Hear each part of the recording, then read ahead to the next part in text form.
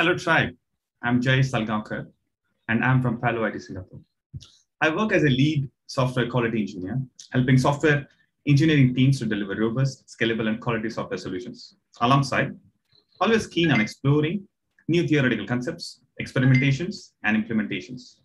I'm here to share one such theoretical learning and its implementation, which has worked for myself, my team, and my organization, and I believe it would work for everyone. I'm super excited to be here. Today, I'm here to share some of my lessons learned on Agile and its implementation in Agile software delivery. I'm aware it's a very wide topic and literally impossible to cover in an allocated time span. I'll be speaking specifically about Scrum ceremonies and cognitive engagement of developers with testing role or quality engineers in the team. We all are familiar with the Agile ceremonies, backlog grooming, sprint planning, story kickoff, stand-ups, retrospective, etc., etc.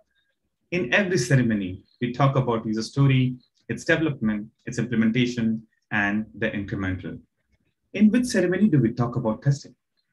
Bazinga, absolutely right, in all the ceremonies. The key takeaway of this video is set of questionnaires which shall help the responsible devs with the test role or the quality engineers of the team to be prepared from the quality aspect of software delivery per ceremony. Ash Coleman says, the best way of implementing testing in an agile software development is by evolving the development process to include the governed quality checks in each stage where a decision will be made. Quality engineers serves a unique role in the project team. When included as part of the product team, can amplify the product quality.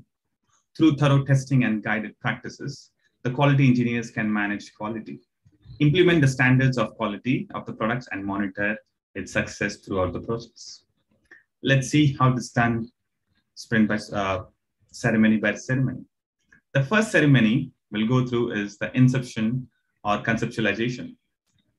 During the product conceptualization, it's essential all parties involved share the same goal and understand understanding of the business outcomes. It's a great platform to gain, share knowledge on quality de deliverables to set the expectations and the standards.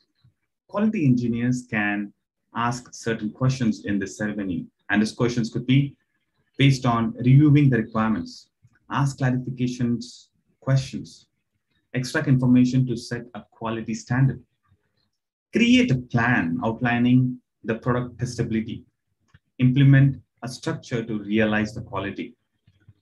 All that questions needed to set all these five key points are welcomed in this ceremony. Let's talk about the second ceremony, backlog grooming. A typical agenda of, for discussion in this meeting is all about user story. A user story is valid, a use case is relevant, what is the impact of the user story, and how much time will it take to build the solution? From a quality engineering perspective, we shall try to find answers to the following question. What are the dependencies of developing this solution? What determines the testing timeline? Accurately determine the testability of each component which has been built. Expose scope's shortcoming. When quality engineers are involved in backlog grooming, it drives stakeholders to consider quality earlier, even before the product itself begins to develop. Let's talk about the third ceremony, which is the key ceremony of all. One of the most versatile meetings that exists within Agile.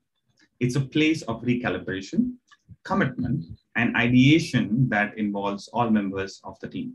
A typical agenda uh, in the sprint planning is outlining the details of the user story, calculating the measures, agreement on the acceptance criteria, from the quality engineering perspective, this seems to be a, the, the, the key, the, the critical, most critical event in that uh, sprint phase.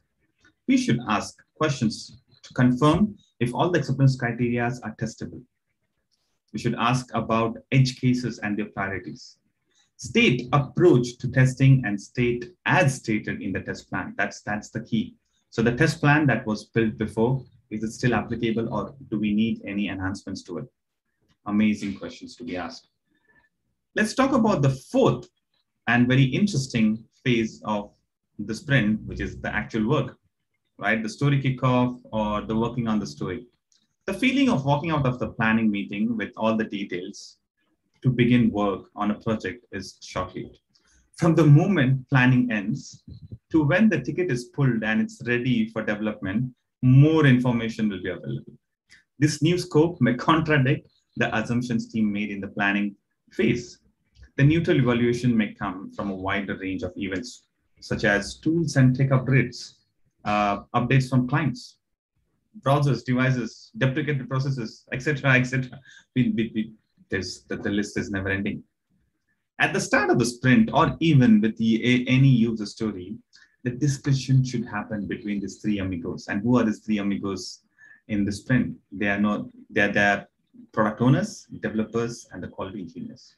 In order to realign expectations, this includes finalizing the acceptance criteria, discussing changes to initial development plans, key testing approaches, and any other information that makes the execution of this user story crystal clear. Final message to all my fellow quality engineers as shepherds of quality feedback. Quality engineers have the most to gain from the honest feedback. Everyone needs an opportunity to speak freely and provide clarity regarding the impact decision has. Breaking this down into conversations about how the team performance calculates into quality will help the team to understand some of the complex advantages of the testing in agile process. Thank you very much.